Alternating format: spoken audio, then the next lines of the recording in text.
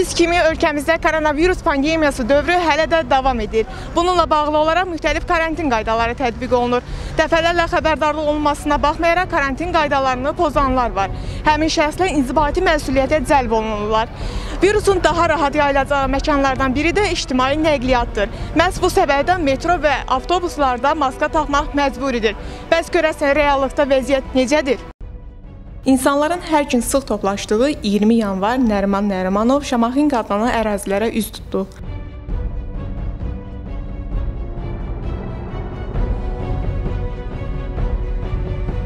Lakin şahid olduğumuz görüntülər heç də ürəkaçan deyildi. Belə ki, cərimələrin tətbiq olunmasına baxmayaraq, hələ də dayanacaqlarda və ictimai yerlərdə tibbi maskadan istifadə etməyənlər var.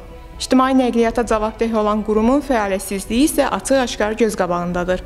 Bakı Nəqliyyat Agentliyi maarifləndirici layihələr həyata keçirməklə işini bitmiş sayır. Sözü gedən qurum nəzarət edici mexanizm həyata keçirə bilmir.